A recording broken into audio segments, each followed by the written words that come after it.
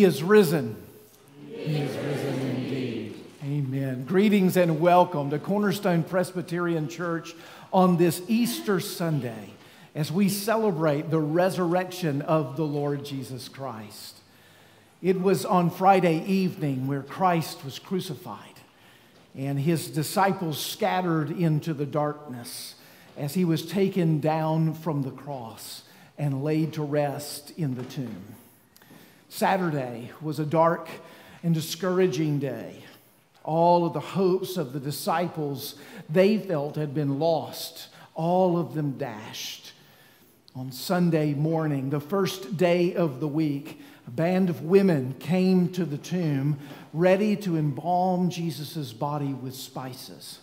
And much to their surprise, when they showed up, the stone had been rolled away from the tomb, and there was no body of Jesus to be found, but to instead they found two men, dazzling apparel, who looked at them and said, Why do you seek the living among the dead? He is not here, he is risen. As we gather in the presence of Christ by his Spirit today, we recognize that our Savior is victorious over sin and death. And the reason for our gathering today is not for naught, but there is indeed an accomplishment worth celebrating and a Savior worth worshiping. We have come in the name of Christ, and today we know him as the crucified and risen Savior. Praise be to God. Let's stand and sing together.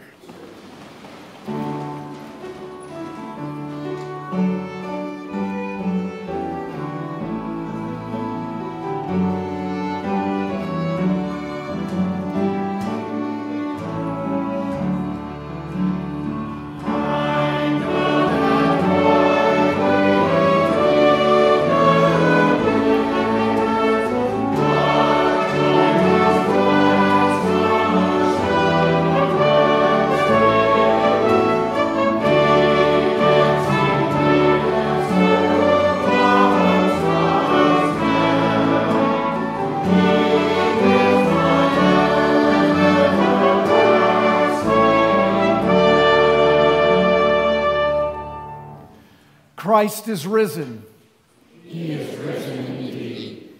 For Jesus Christ our Lord is declared to be the Son of God in power according to the Spirit of holiness by his resurrection from the dead, through whom we have received grace. I know that my Redeemer lives, and at the last he will stand upon the earth. Christ is risen. He is risen indeed.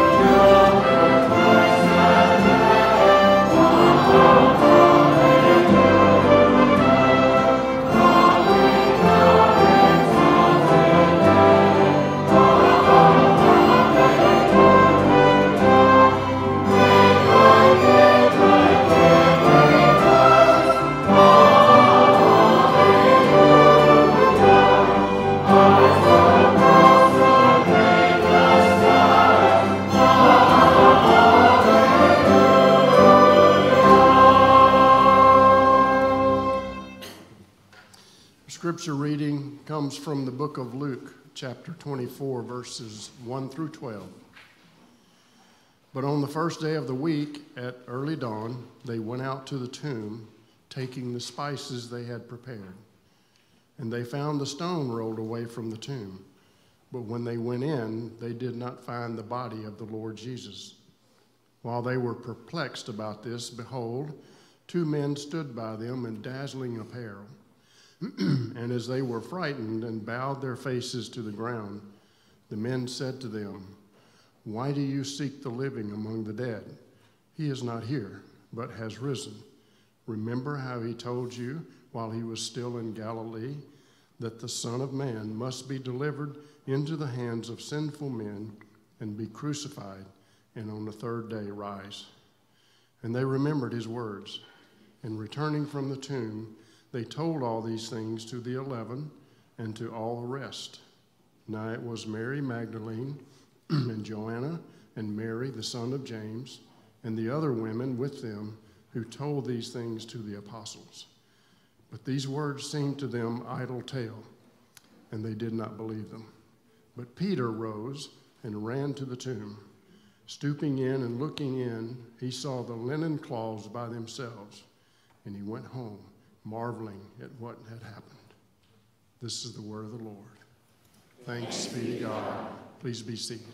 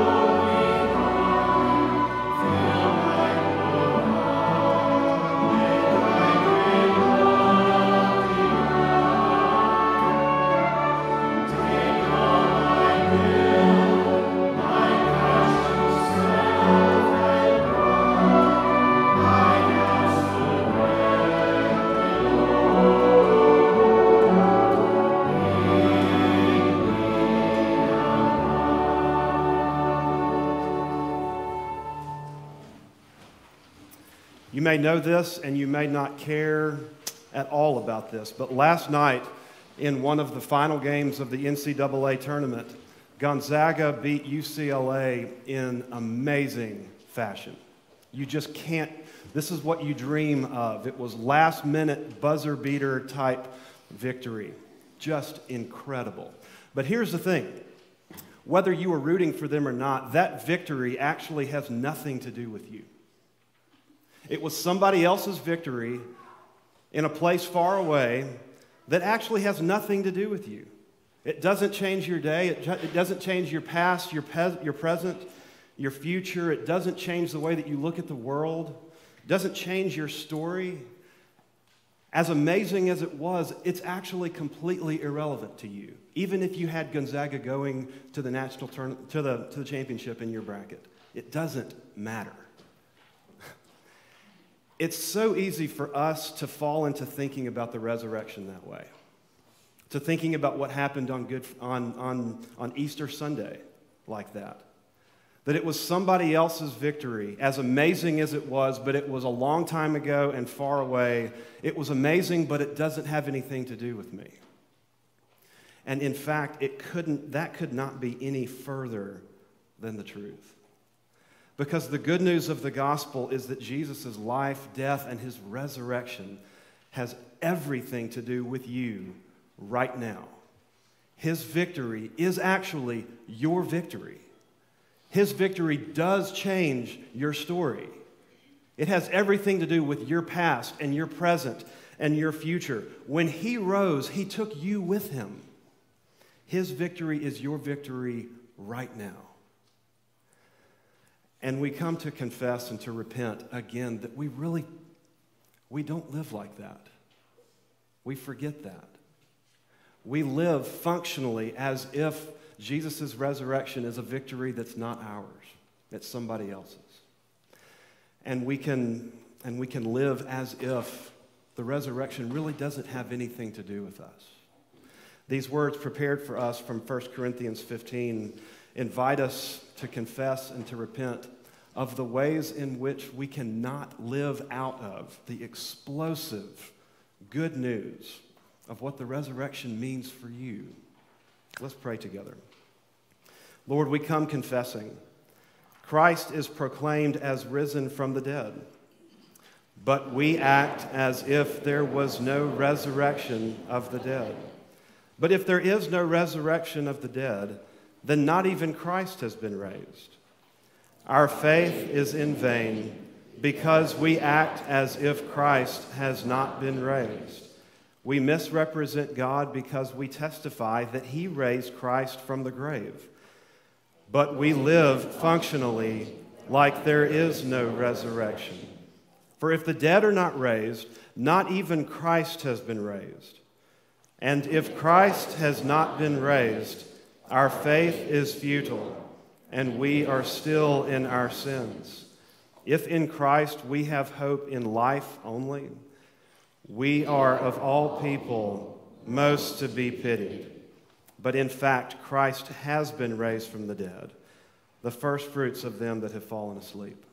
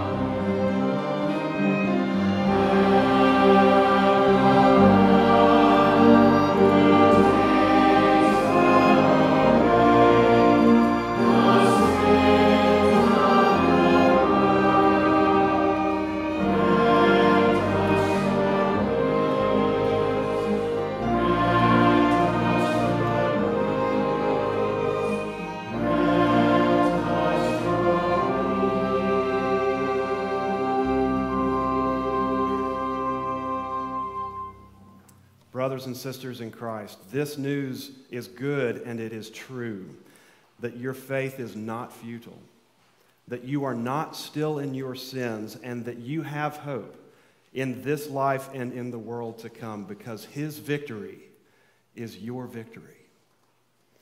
As Paul writes in 2 Corinthians, for the love of Christ controls us, because we have concluded this that one has died for all, and therefore all have died. And he died for all, that those who live might no longer live for themselves, but for him who died for their sake and was raised.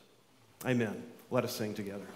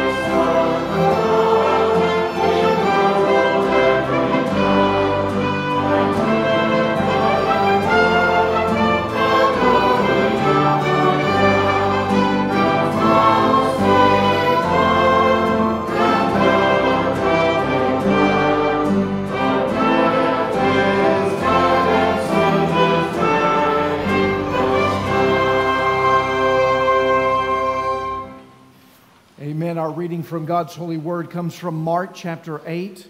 Mark chapter 8, beginning in verse 27 and extending to verse 31. And Jesus went on with his disciples to the villages of Caesarea Philippi. And on the way, he asked his disciples, Who do people say that I am? And they told him, John the Baptist. And others say, Elijah. And others, one of the prophets. And he asked them, But who do you say that I am? Peter answered him, You are the Christ. And he strictly charged them to tell no one about him. And he began to teach them that the Son of Man must suffer many things and be rejected by the elders and the chief priests and the scribes and be killed and after three days rise again. The grass withers, the flower fades, but the word of our God will stand forever. Amen. You may be seated.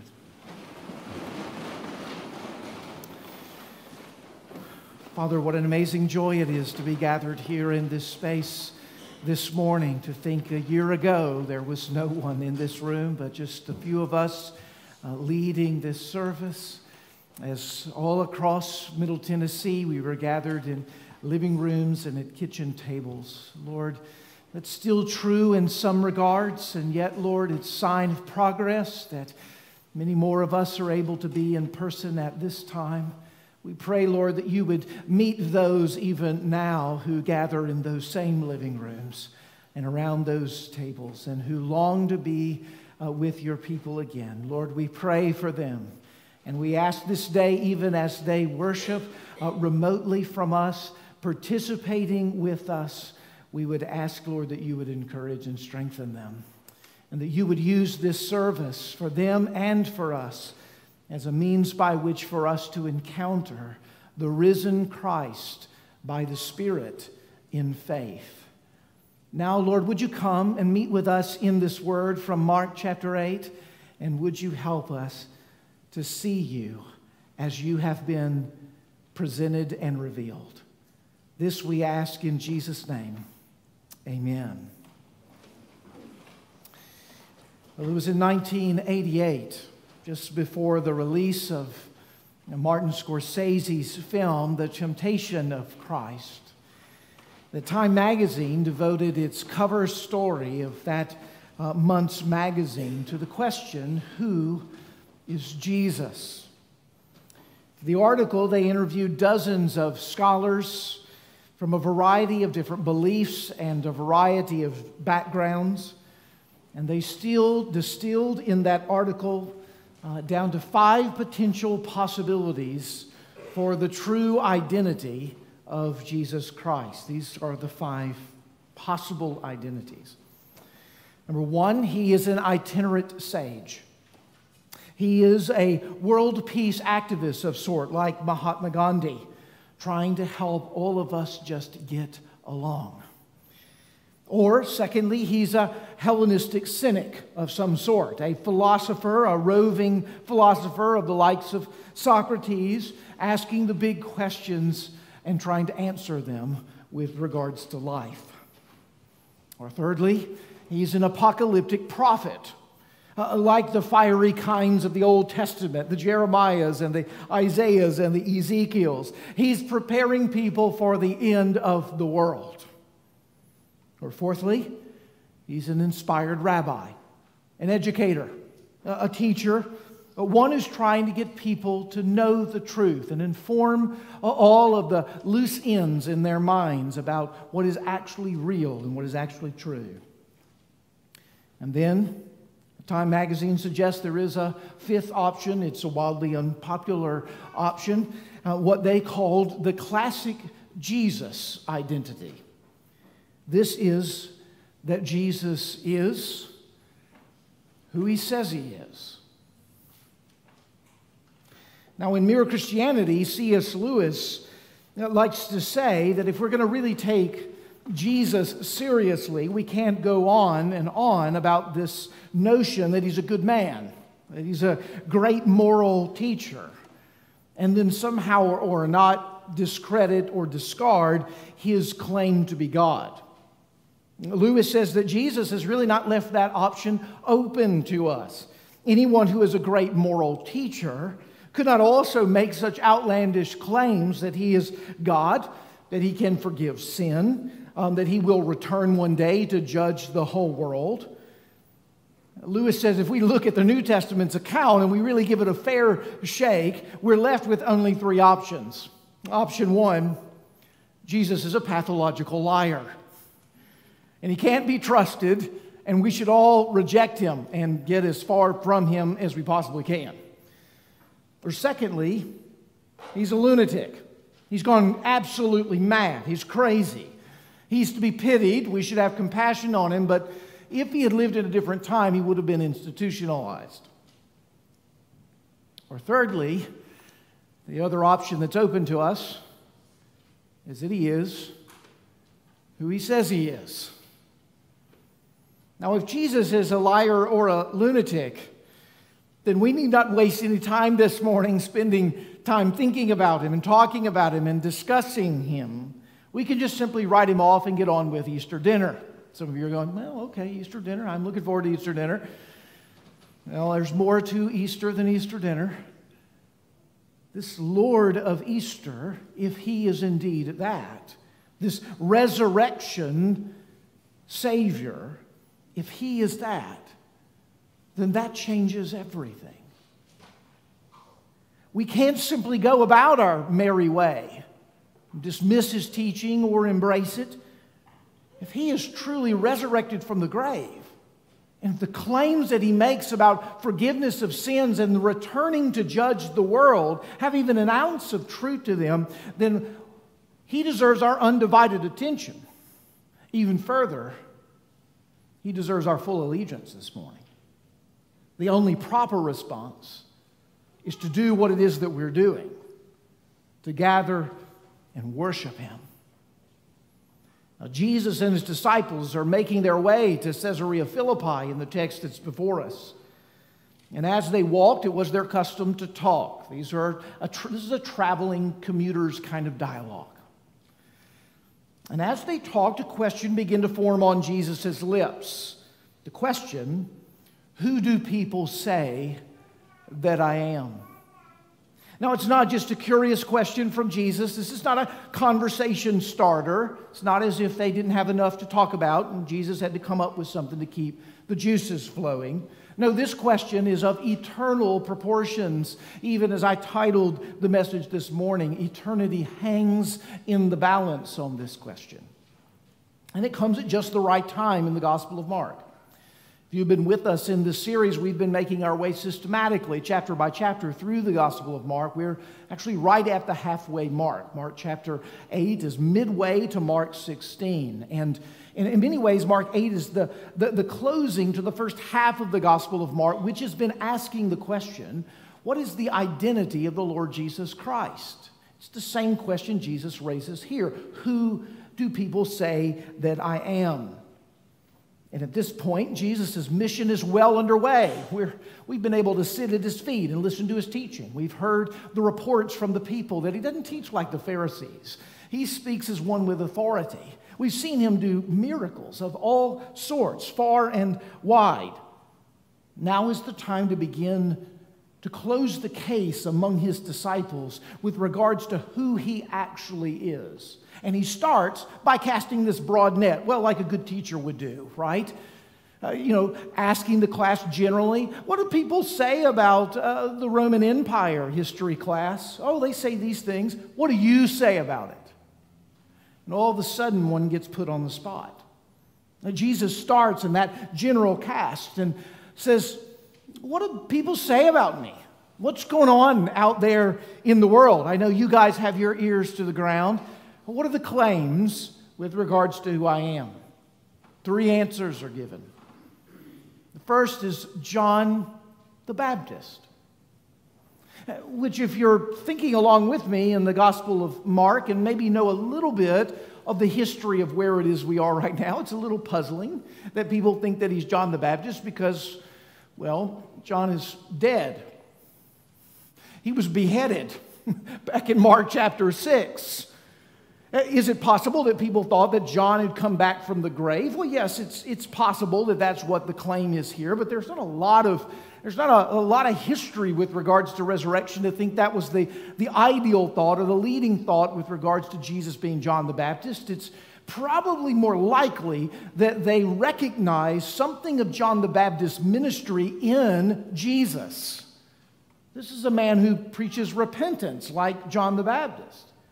This is a man who didn't come through the pathways of the religious organizations. He didn't get the stamps of approval from the Pharisees. He's a bit of a rogue religious leader. He's a man who gathers large crowds, normally not in the center of the city, but in faraway places. And, well, all that just smells a lot like John. This guy is in some way, shape, or form channeling the spirit of John the Baptist. That's what some people say. Anything else? Oh, they also say, well, some of them, that you're Elijah. Now, it's understandable that they would say, actually, Elijah. He's arguably the, the greatest uh, prophet of the Old Testament, maybe Moses notwithstanding. He too taught repentance, called the people of Israel back to God. And unlike John, Elijah did remarkable miracles. I mean, he, he raised a boy from the dead. He, he, he, was able to do amazing things. He even, well, he even exited the world in a strange way, but by a fiery chariot. And, and we're told in Malachi that someone like Elijah is going to revisit before the day of the Lord, before the Messiah comes. So it's sort of understandable that they would say, We've been looking for this Elijah figure to come, and you kind of seem like him. Others are, well, they're not quite so sure. They don't get so specific. They, they just say, You're one of the prophets. You, you remind them a little of, of Jeremiah in some ways, and, and, and others like Micah. And, and then, um, you know, we've heard, uh, we, we've heard Isaiah as a possibility too. Um, all of your teaching seems to resonate in ways that's consistent with an Old Testament prophet. Uh, everybody believes you're a mouthpiece of God. Now, there's something to be said for every one of these guesses with regards to the identity of Jesus. And in fact, all of these guesses are touching upon real and true things with regards to who Jesus is. He, is a prophet. He, did do great miracles. He did call people to repentance. He, he, he wasn't a, a typical religious leader. He did draw great crowds in out of the lying places. He does look in some ways like these Old Testament figures, and yet none of these answers are sufficient for describing the identity of Jesus. In fact, any comparison of Jesus to any other person, religious or otherwise, fails to truly capture who Jesus is because he's in a category all by himself. This is why, even in the Time magazine article written in 1988, as it lists these various categories, it's working with categories that have been known to humankind uh, typical ways that we label people to help our minds sort of get around uh, who they are. You, you know, we do this naturally. We meet someone and we size them up. And we want to put them in a box that's in our mind so that we can understand them and then we can relate to them in the categories that we've given to them. That's, well, that's the trouble when it comes to Jesus. We've never seen a box like this. There is no box that we could put him in. There is no place to be able to categorize him in human history. He is wholly unlike anyone else. The claims that he makes is not to speak for God, but that he is one with God. Not that he calls people just simply to repentance, but that he's able to actually forgive their sins. That, that he's not just simply the son of Abraham in a long line or a son of David in lineage, but he's actually what all of the history of the Bible is pointing to as its fulfillment. Claims of Jesus are of an exaggerated and elaborate form, the likes of which we've never seen before. And so Jesus drills in. He says, Who do you say that I am? You've been with me for a year by this point. You've heard my teaching, you've walked with me. You, have seen me when I'm in the public, you've seen me when I'm in private. I've taught you behind the scenes when you've not understood parables or couldn't make sense of miracles. We have walked together as close as anyone has walked. Who do you say that I am? The you actually in that verse is in the emphatic position, meaning to say, he said something like, You, what do you say that I am? It's meant to put them on the spot. It's meant to call out, as it were, where you really stand. It's somewhat fascinating that he hasn't done this before now, isn't it? If you just think through the whole scope of the disciples walking with him, it doesn't appear that he's had this dialogue with them yet. They've been walking with him. Maybe they've had all of these thoughts that the crowds have had. But over time, one title is the title that has risen to the top in terms of the identity of Jesus for the disciples. And guess what?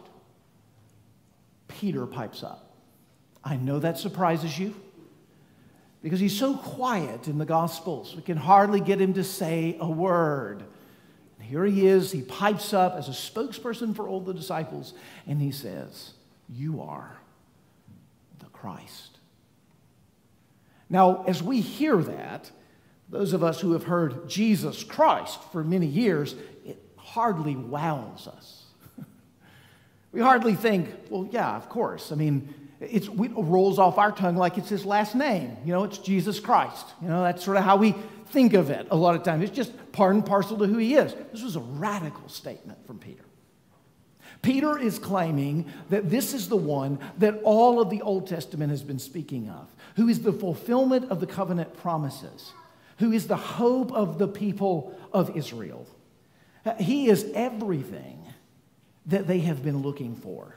He is the true seed of the woman that's come to crush the head of the serpent. He is the true promised son of Abraham, who would be a blessing to the whole of the world. He is the true deliverer, even greater than Moses, who would rescue his people from their enemies. He is the true warrior, like Joshua, who would secure for his people a promised land.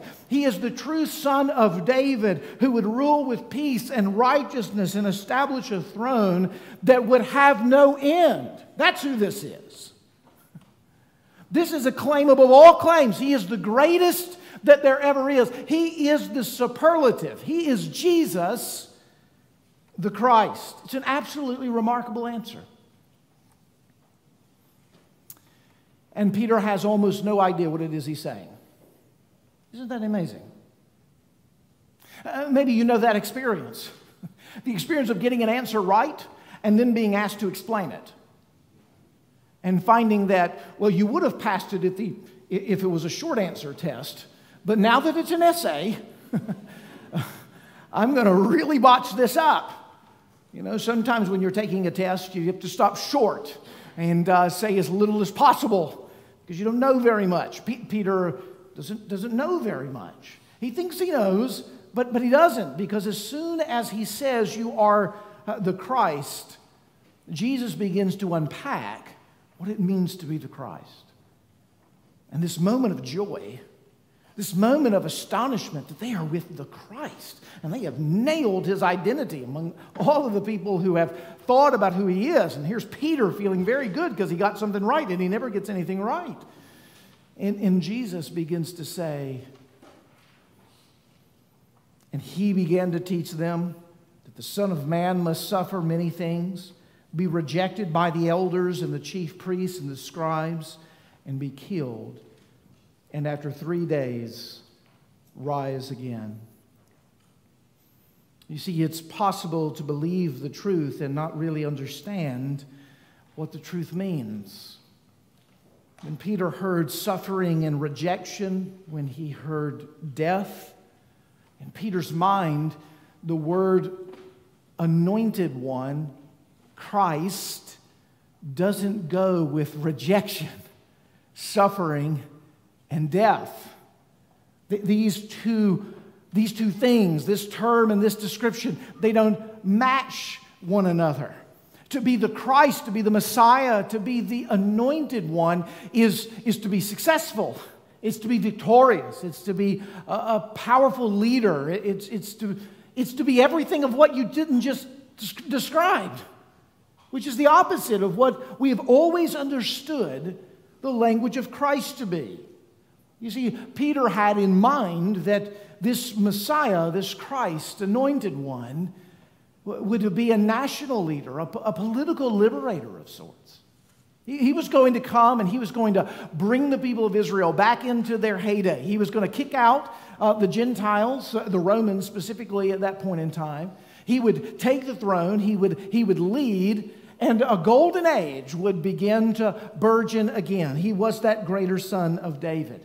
It meant joy, it meant victory, it meant restoration. That's what it meant to be the Christ. But Jesus here is telling Peter that it doesn't quite work in that way. Oh, yes, it will mean joy. Yes, it will mean peace. It will mean restoration. It will mean all the things that, in many ways, you think that it means, except not quite in the way that you think it, nor is it going to come about in the way that you would expect it. Because what you want, Peter, is a crown without a cross. That's what you're saying, Peter. That's how you understand the Messiah. But I have come as this Messiah who seizes the crown through the cross. When I tell you I've come to be rejected, I've come to suffer, I've come to die, I have come through the cross to secure all the things that you you want and desire and long for and have been promised. The cross is the way. It is not a defeat, it is the path to victory. It is not, a, it is not so much a humbling as to disaster, but a humbling as to ultimate glory. For the joy that was set before him, he endured the cross, he despised the shame, and he is set down at the right hand of the throne of God in heaven. This was hard for the disciples to hear, and in fact, it, it, seems as if they missed a lot of his foretelling. They're confused, even as we read in Luke 24 earlier in this text. They, they didn't expect the resurrection. They, they, were, they, they were totally dashed in terms of their hopes. When Christ died on the cross, all of their hopes died as well. Even so, when the women came and shared with them that the tomb was empty and what the, the dazzling men, the angels, had told them, we're told that the disciples disbelieved. They didn't immediately jump, as it were, on the, the news that was given to them by the women. It didn't strike them as this, surely that would be the case. We've been watching for this. But don't we see in the text? Jesus was plain, he was very clear about it. I'm going to go to Jerusalem, I'll be rejected, I'll die, but in three days, I will rise again. Do you know he's going to say that two more times before the end of the Gospel of Mark? He's going to take time inscribed here in the text to remind the disciples of what the real pattern and rhythm are. And it's like they never heard to be, ro- to be rise again on the third day. It's like they never heard those words. It's like they never registered. It's as if, as we confess this morning, they lived with no hope of resurrection. It's as if the promises of God had been to them dull and unperceived. As we've been studying in the Gospel of Mark in the previous passages, what have we seen over and over with the disciples as they see but they don't see? Peter gets the right answer and he has no idea what he means by it. He's got the wrong explanation. He sees and he doesn't see. It's like us much of our life, isn't it? The things that we see that are so clear to us, and then we get into life, into the mysteries of it, and the loose ends, and the defeats, and the cross bearing, and we think to ourselves, is any of this ever going to be righted? Is there any meaning in this? Is there any life in this? Is there anything to hope beyond this? Is this ever going to change? Is, do I have any reason to hope? We live as if there is no resurrection. We live as if we're not a resurrection people. It's hard to believe in a happy ending. In the world in which we live, for some of us, it's, it's increasingly hard to believe in a happy ending. We live more by the, well, every good thing must come to an end. How many of you said that? You know that's a lie. Every good thing will not come to an end. Only the good things for those who are in Christ never end. Only Zion's children know this. The power and the hope of his resurrection. The fact that this morning he mediates for us and loves us with an eternal and an enduring love that will not fail, though our love for him will constantly fail. The perfection of his love is that he will uphold us when we do not uphold him.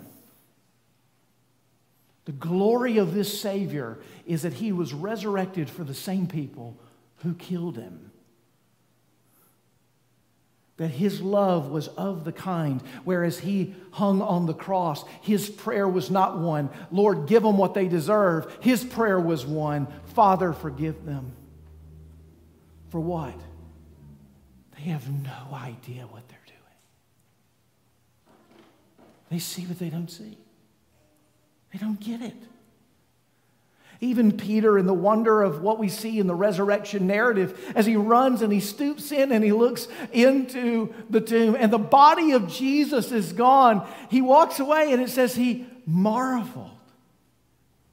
He was, he was having this this recognition wash over him. It wasn't that it dawned on him, it was that he was still in the mystery and the wonder of it all. There was going to be so much more to understand. Because when he thought all of his hopes had been dashed and went on back to fishing in the Sea of Galilee, he found out on that first day of the week, that first Easter morn, that in fact his hopes were just beginning. What he thought was the dark of night was actually on the horizon, the break of a new dawn. That the world that had gone down in a garden into darkness through the eating of a forbidden fruit would now be born afresh in a garden where we, for the rest of our lives, would feed upon Christ as our living bread and a drink that would satisfy. We read this week an article in the Spectator magazine, magazine, British magazine, where the cover story, again, was actually Easter. Jesus still making headlines after all these years. It was on a variety of things related to church and, and religion, but uh, the article ended by simply saying that Easter is about transformation. It's about life after death and the life that comes after death and the hope that changes everything. Has it changed everything for you? You today live in a world where a man came back from the grave. Jesus is the first fruits of the resurrection. It's already begun. And those of you who are in Christ have the same spirit that raised him from the dead. And upon his return, the graveyards, which look a lot like gardens, will tell the real story of the first Easter. That the one who was raised from the dead has secured you if you are in Christ today. When the trumpet blows and the graves are opened up and we, a resurrection people, are known. That day is coming. Every good thing does not come to an end. This is the dawn of a new universe where every good thing never ends for those who are in Christ. Father in heaven, we would ask that the truth of this gospel would be the gospel that changes our lives afresh together this day. And for those in here who may not have known Christ, that today might be the day of salvation. For death comes to all men, and therein after the judgment. Only those who are in Christ have the hope of the future to come. Lord, would you today let scales fall from our eyes, and seeing shall we see clearer than we ever have before. That every good thing is ours in Christ. This we ask in Jesus' name. Amen. Let's stand and sing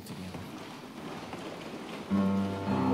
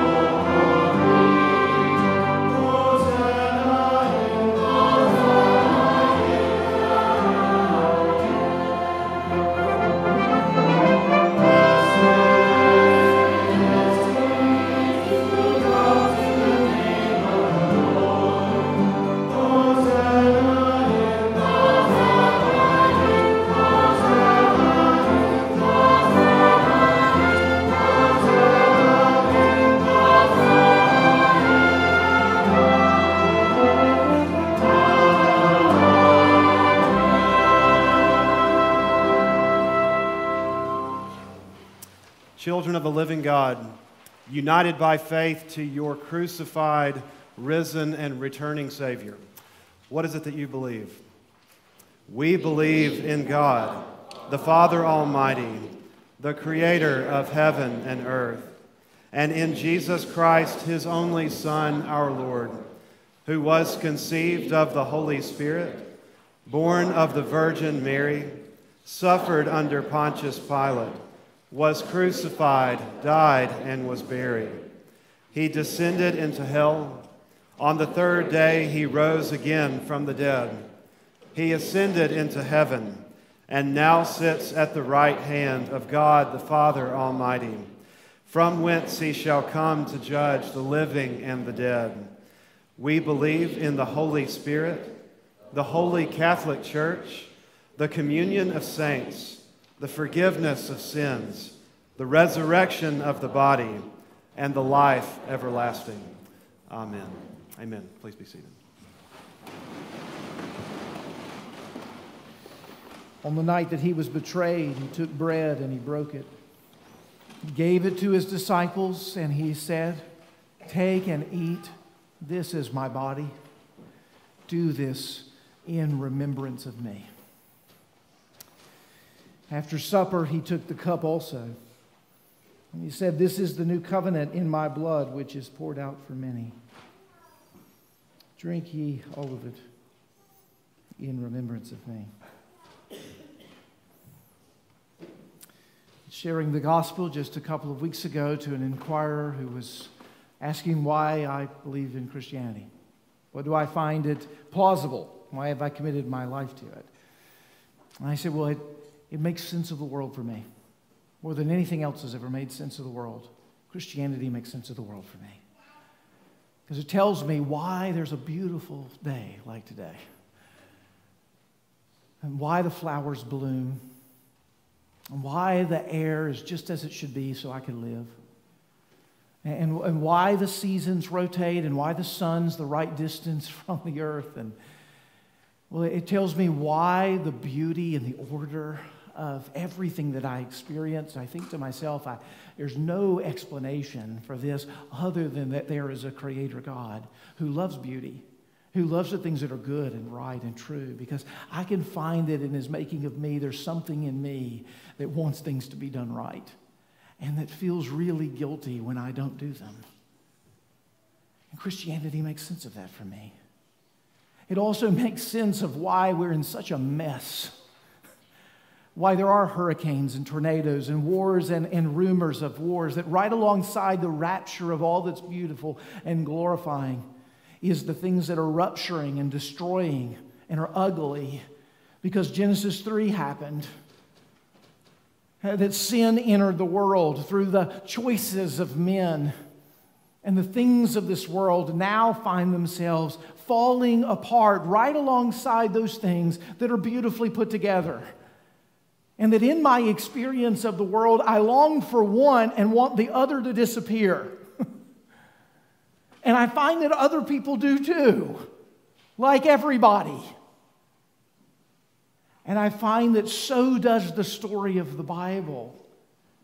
That in this broken beauty that is our world, that is the reality of who we are, there is a Savior who came in and he took on all of its ugliness for us, the very source of it and he's laid it in the grave, and he has risen again from that grave. He has overcome my greatest fear, and I trust if you're honest this morning, yours. The fact of the matter that your house and your car and all the things that you do, the achievements, all the good deeds and all the happiness, it's all going to be put to rest. It's all going to be put in a grave somewhere. Is that just meaningless? Oh no, it's for my children to pass down to them so that they can die? There's got to be something more. There's got to be an explanation for why it is that there's a longing in my heart for an eternity that I can't seem to grasp on my own terms. And the Bible says, You've got it. That's why I've come to secure such a reality for those who would trust in me when God the Creator took on human flesh and all of the ugliness that brought it into this world. And he has laid it in the grave. And that gospel, now good news, spreading to every kindred, tribe, tongue, and nation, will one day be to the place where the whole of the world will be covered with his goodness, his righteousness, and his beauty. And we will know even as we are known, and every good thing will never end when I begin to realize that that's the crux of the story of what I want to be true and also making sense of what I see before me, I think who else can tell the story but the Bible? And what other Savior is fit to achieve it than the Jesus who is resurrected from the grave? He has been so victorious, my friends, that this morning we're going to take a symbol of death and we're going to eat it and find nourishment. There is nothing to fear if you're in Christ today. O oh, death, where is your victory? O oh, death, where is your sting? For today we will come and take up symbols of broken bread and spilt blood, and it will be to us as it were life.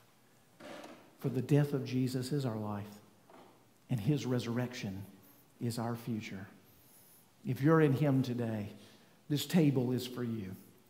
Come with faith, trusting in Christ. Come in the struggle of faith, asking that more of what is true would be what you believe and hold fast to. But if you're not in Christ today, I want to encourage you to refrain from this table, but to instead come to Jesus.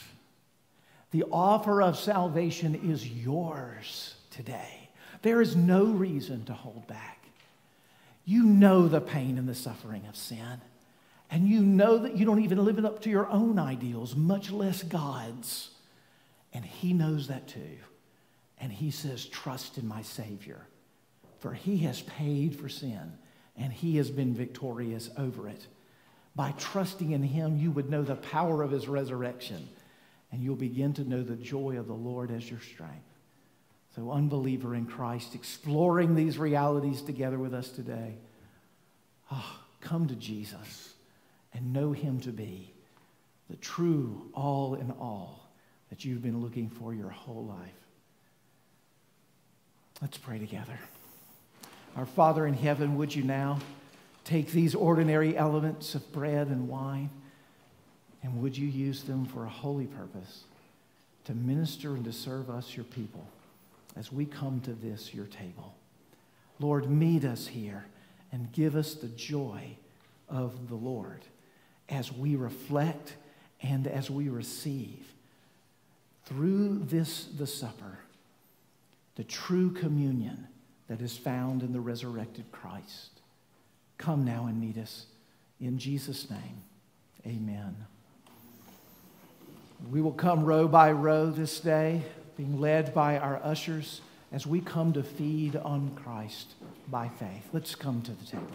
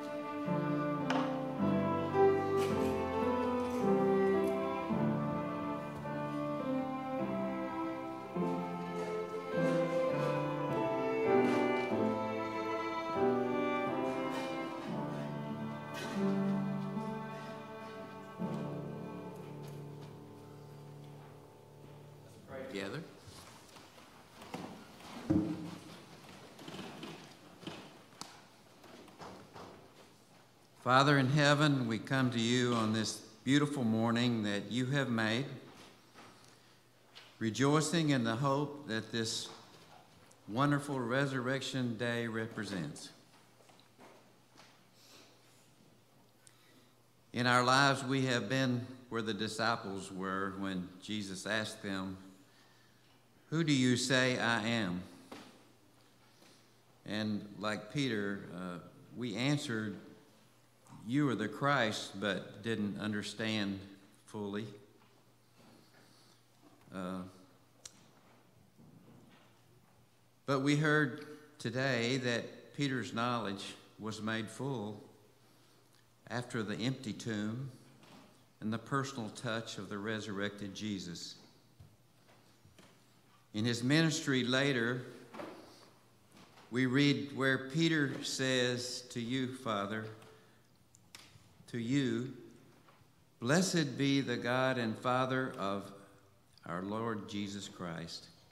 According to his great mercy, he has caused us to be born again to a living hope through the resurrection of Jesus Christ from the dead, to an inheritance that is imperishable, undefiled, and unfading, kept in heaven for us, who by God's power are being, are being guarded through faith for a salvation ready to be rewarded in the last time. In this you rejoice. Indeed, we do enjoy, we do rejoice. And Jesus, we, we pray to you, our resurrected Jesus, and we, we join the Apostle Paul in his bold declaration this, of this living hope and great joy. For you have risen from the dead, and this good news does change everything.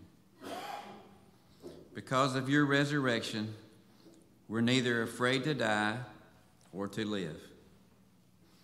We're not hopeless, hapless vagabonds on earth. We're hope filled Christian children of God. We're no longer enslaved to our sins. We're now wrapped in your righteousness. Those who've gone to sleep in you aren't slumbering in the void, they're rejoicing in your presence. Hallelujah.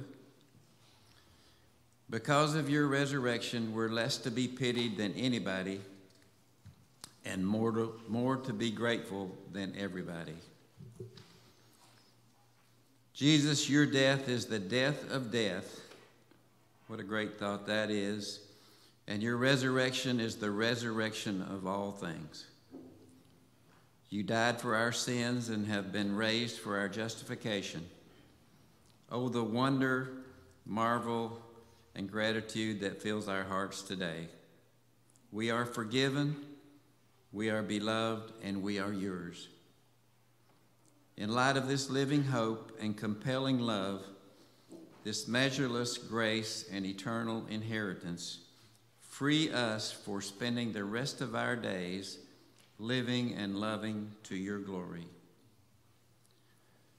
Father, Son, and Holy Spirit, we lift up to you today those in our midst who are struggling with either spiritual or physical issues and ask for you to open their eyes to this great hope that we are rejoicing in today, that they will answer you, Jesus.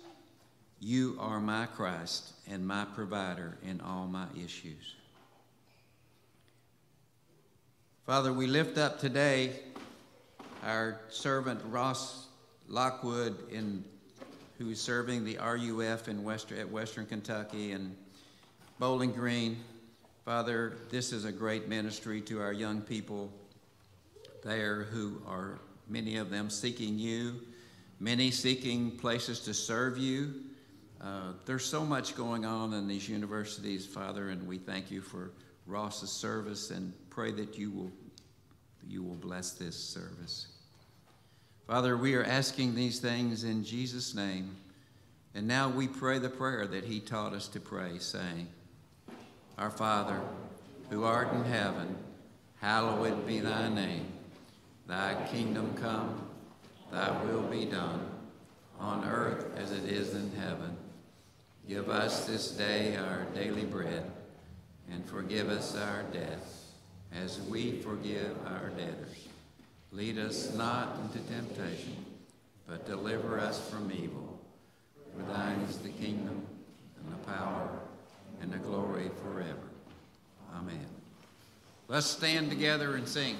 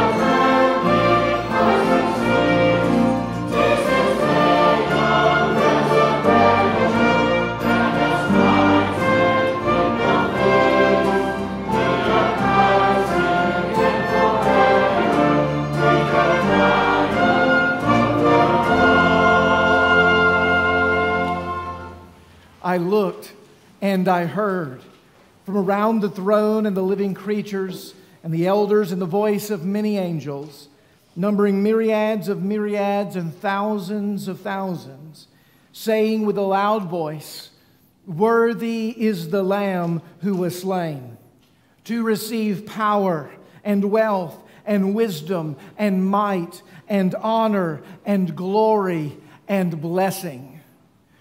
Christ is risen. He is risen indeed.